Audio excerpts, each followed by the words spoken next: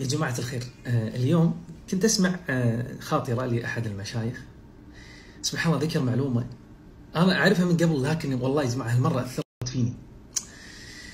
تعرفون آه، النبي صلى الله عليه وسلم يقول بين السجدتين دعاء مشهور اللهم اغفر لي وارحمني وعافني واهدني وارزقني.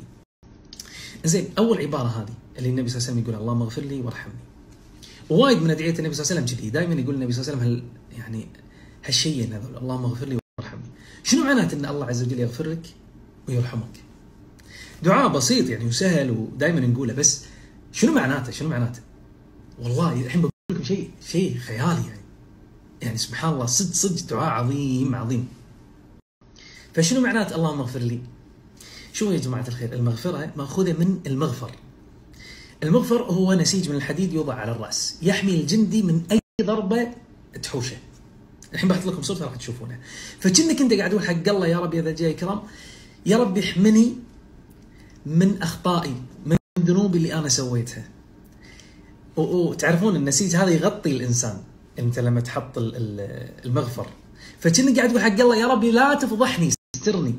كلها بهالعبارة هذه اللهم اغفر لي. زين وارحمني. يعني يا رب يا ذا الجلال الكرام خلى هذه السيئات اللي أنا سويتها والذنوب تنقلب إلى حسنات.